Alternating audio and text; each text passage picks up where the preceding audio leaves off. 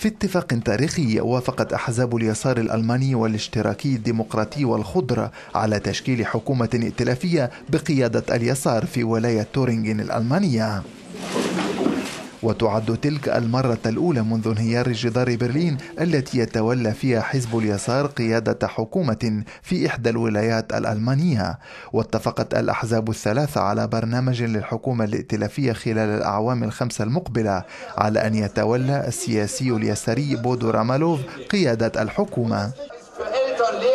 وتعود جذور حزب اليسار الألماني إلى حزب الوحدة الاشتراكي الألماني الذي حكم ألمانيا الشرقية قبل سقوط جدار برلين.